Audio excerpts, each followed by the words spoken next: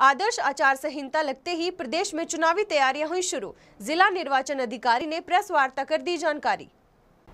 आदर्श आचार संहिता लगते ही प्रदेश में चुनावी तैयारियाँ शुरू हो गई हैं। यमुनानगर में आज जिला निर्वाचन अधिकारी एवं जिला उपायुक्त मुकुल कुमार ने अन्य अधिकारियों के साथ चुनाव को लेकर प्रेस कॉन्फ्रेंस की और विस्तृत जानकारी दी। निर्वाचन अधिकारी एवं उपायुक्त मुकुल कुमार ने बताया कि आयोग की हिदायत अनुसार 29 अक्टूबर 2019 तक ज़िले में आदर्श चुनाव संहिता लागू रहेगी। इसलिए सभी विभागाध्यक्ष निगमों व बोर्डो व कार्यालय अध्यक्ष आयोग के आदेशों की पालना करते हुए हर प्रकार की अवांछित प्रचार सामग्री, पोस्टर, बैनर आदि कार्यालय व विभागीय भवनों से हटवाना सुनिश्चित करें। उन्होंने बताया कि निर्वाचन आयोग द्वारा 27 सितंबर को अधिसूचना जारी की जाएगी। और 4 अक्टूबर नामांकन भरने की अंतिम तारीख रहेगी। 5 अक्टूबर को नामांकनों की जाँच होगी और 7 अक्टूबर को उम्मीदवार अपने नाम वापस ले सकेंगे। उन्होंने बताया कि 21 अक्टूबर को मतदान होगा और 24 अक्टूबर को मतगणना होगी। जो हमारा लोकल रिप्लेसमेंट लॉ है, Haryana replacement of property act उन्नीस सौ नवासी के तहत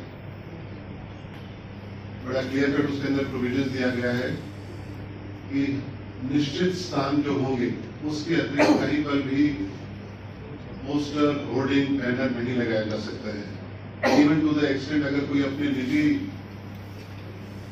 प्रॉपर्टी पे कोई झंडा या कोई ऐसा पोस्टर बैनर या होर्डिंग लगाता है तो उसके पास कंसर्न कैंडिडेट की परमिशन होनी चाहिए कि उसकी अनुमति से वो उसको लगा रहा है। नहीं तो ये माना जाएगा कि बिना उसकी अनुमति के उसने उसको लगाया है। जैसा कि आपको विदित है कि विधानसभा चुनाव में खर्चे की सीमा 28 लाख होती है, प्रत्येक कैंडिडेट खर्च कर सकता है। तो उसके अंदर उनको अपनी लिमिट रखनी है।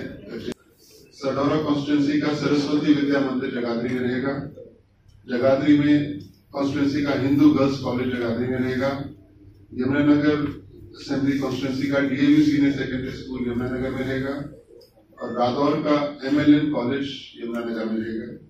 पच्चीस सौ अस्सी सर्विस वोटर्स हैं,